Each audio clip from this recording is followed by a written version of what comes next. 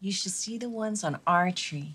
All red, plump, juicy, super sweet with a tiny seed. Must have been the cold snap out here at Christmas time. Ah, that's right. That's why the lychee are always better on the big island. I mean, sometimes they get snowy, huh?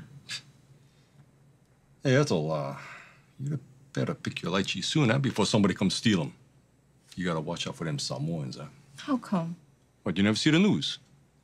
Had two guys on the Big Island got caught red-handed. They went cockroach to the lychee in broad daylight. Yeah, from one of those farms. You mean they wouldn't lean right over the fence and take them? Here it is.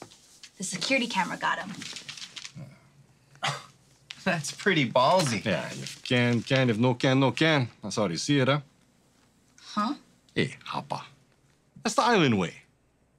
Whatever grows on the island is up for grabs. If can, can. You know, these guys, even if they come ask for permission and uh, you tell them no, you know they're gonna come back to your house after dark, climb your fence, and pick them anyways. Well, Arnie and I are picking the lychee this weekend, and I'll bring some for you guys on Monday. I, I can come in early on Monday Oh, then. I'm gonna race you, bro.